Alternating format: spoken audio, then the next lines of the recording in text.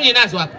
Yaani wewe tunaangalia Mara tunasema Mara hii iliyokuwa hivi sasa hivi iko hivi. Maana Mara ni wasikivu, ni watu wa elimu, wanazijua changamoto zao, wanataka waachane nazo. Wanachohitaji ni ushirikishwaji tu na ushirikiano wa serikali na wadau wa maendeleo. Nani kama Mara?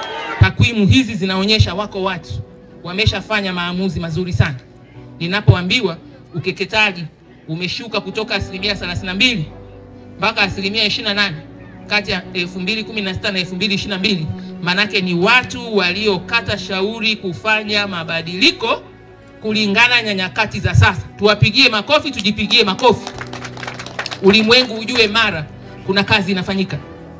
Mimba za utotoni zimepungua kutoka 37 asilimia mwaka 2016 mpaka 31 asilimia mwaka 2022. Maana watu wa Mara wameamua kuiandika Mara yao na watoto wao katika sura ya Tanzania na ulimwengu kwa ujumla, kwa kuja kivingine, kwa sababu somo wameelewa. Piga makofi kwa Mara tafadhali. Ukatili wa kijinsia na wenyewe nawe umepungua kutoka asilimia 78 mpaka 66 katika kipindi hicho hicho.